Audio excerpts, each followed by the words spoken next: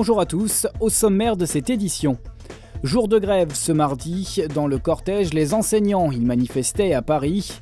Les professeurs du second degré protestent contre la réforme du collège. Ceux du primaire, eux, réclament une revalorisation salariale. Félix Dumas a rencontré des enseignants du 77 juste avant leur départ pour la manifestation. Et si le métier d'ingénieur s'écrivait avec un E à la fin C'était le nom d'une table ronde organisée par l'Essier jeudi dernier à Champs-sur-Marne. Le but, inciter les jeunes, et notamment les jeunes filles, à se tourner vers ce métier. Et puis zoom sur vue de nos fenêtres. Cette exposition participative propose aux franciliens habitant en banlieue de photographier ce qu'ils voient depuis chez eux. Gaël Le Boulanger nous en dit plus. 70% de grévistes annoncés au collège du Segret, ici à Logne. Même chose à Saint-Thibaud-des-Vignes. Les enseignants étaient mobilisés pour ce mardi de grève suite à l'appel de plusieurs syndicats. Une cinquantaine d'entre eux sont partis de Noisiel pour aller manifester à Paris ce matin. Des professeurs de primaire et de collège qui se disent attaqués sur deux fronts. D'une part, il y a les salaires, ils en demandent une revalorisation. De l'autre, c'est la réforme du collège dont les syndicats réclament le retrait. Cette fameuse réforme est prévue pour la rentrée prochaine. Elle prévoit notamment des heures de classe où plusieurs disciplines se croiseront, des heures qui devraient être soustraites à celles déjà existantes alors que le programme reste le même. Ce ne sera pas euh, un moment où on, fera, on avancera le programme, ce sera un moment où on s'arrêtera sur un point du programme déjà étudié, qu'on approfondira à l'aune de ce que peuvent nous apporter d'autres disciplines. Nous, ce que l'on craint, c'est qu'on soit en train de nous récupérer des heures de cours, disons-le simplement, pour faire sur du temps disciplinaire, sur du temps de cours, ce que l'on faisait jusque-là, avec des heures en plus euh, dans des clubs, euh, sur de l'accompagnement éducatif, donc sur des heures qui arrivaient en plus. Autre point de la réforme qui déplaît, la suppression d'un certain nombre de classes bilingues, environ la moitié en Seine-et-Marne. C'est le cas dans des collèges de Torcy, Chelles, Saint-Thibaud-des-Vignes, Bussy, Champs-sur-Marne, Roissy-en-Brie, Pont-au-Combo, Lagny et Maraville, entre autres. Les syndicats comptent 56% de grévistes dans les collèges de Seine-et-Marne. C'est la principale préoccupation environnementale des franciliens. La qualité de l'air s'améliore en Ile-de-France, c'est ce qui ressort d'un bilan du plan de protection de l'atmosphère lancé en 2006 par la préfecture de région. Les concentrations moyennes en particules fines ont par exemple baissé de 20% en 15 ans, une baisse insuffisante selon l'association Air Parif. La pollution reste élevée près des grands axes de circulation. 16 épisodes de pollution ont été recensés en 2015.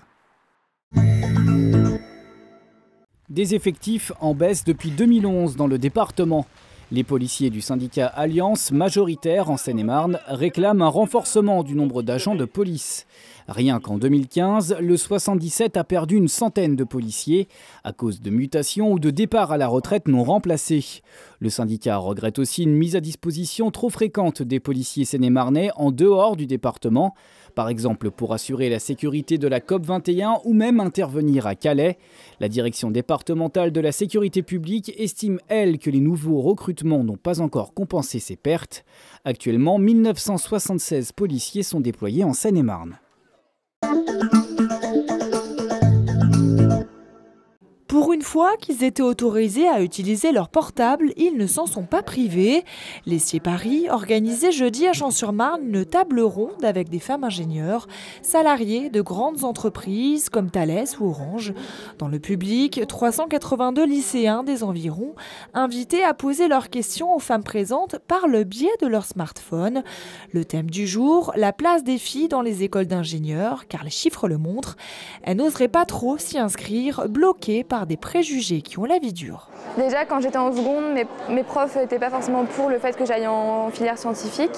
Et puis quand j'ai dit ingénieur, c'est vrai qu'on était un peu euh, étonnés. Et puis, on m'a vraiment dit, euh, t'es une fille, pourquoi tu fais pas plutôt du commerce ou des trucs comme ça?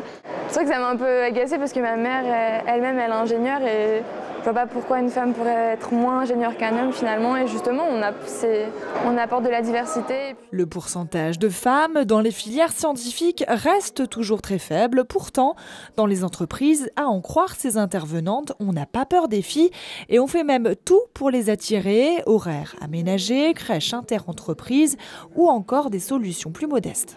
Clairement, je pense qu'il y a beaucoup d'entreprises aujourd'hui euh, qui démarrent des actions. Euh, ma société le fait. Il y a un programme qui s'appelle Passerelle pour euh, favoriser en fait l'embauche des femmes. Néanmoins, le problème, c'est pas tellement en fait d'embaucher des femmes, c'est surtout en fait qu'elles choisissent ces, carrières en fait, de, choisir ces filières déjà à l'école.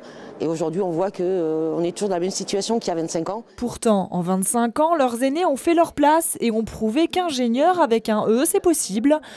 Odile Florimont travaille pour Thalès depuis plus de 12 ans. Pour elle, les choses seraient même un peu plus faciles aujourd'hui. Je pense quand même euh, que les mentalités ont évolué énormément.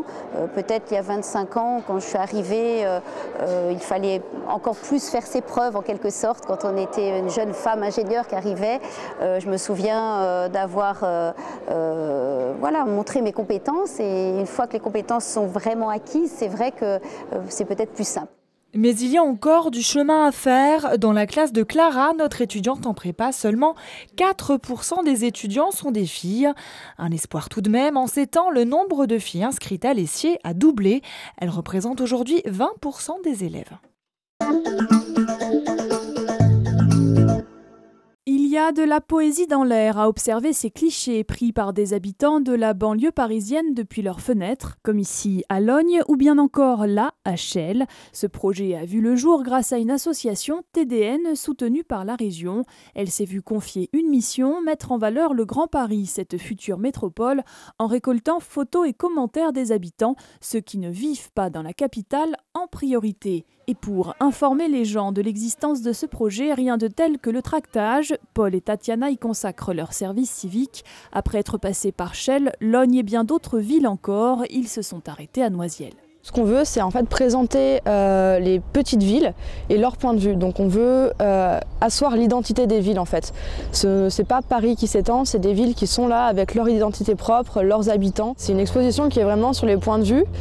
Parce que la vue qu'on a de notre fenêtre, en fait, de notre fenêtre d'habitation ou de lieu de travail, c'est notre vue tous les jours, c'est la vue avec laquelle on vit vraiment. Les photos, 8 maximum par personne, légendées, prises par un appareil photo ou un smartphone, sont en cours de récolte dans les 7 départements de la région région Île-de-France hors Paris.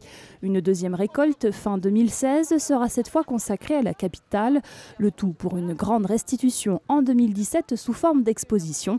Mais les clichés sont déjà visibles sur le site vue de nos fenêtres.fr et pour y ajouter les vôtres, il vous suffit de les poster sur le site en question. Tout de suite, dites-moi tout. Lord Vorak reçoit Nathalie Collet et Diane Delalo, double championne du monde d'aviron de mer en tandem. Ce palmarès impressionnant s'explique en grande partie par la complicité qui existe entre les deux athlètes. on est amis depuis, bah, depuis le début, quoi, en fait. Depuis, le début que je suis arrivée. Voilà, c'est ça. Parce que toi, tu y étais déjà, mais. Oui. Moi, j'ai vu grandir Diane, hein, du coup, parce que. parce qu'on n'avait pas le même Parce que, voilà, on a, comme on a 8 ans d'écart, forcément. Euh. Ouais, je suis arrivée, j'avais 15 ans au club et bon, elle a tout. J'en avais, euh, j'en avais 25, 24, 25. Fin de ce journal, on se retrouve mercredi à 19h pour de nouvelles infos locales. Salut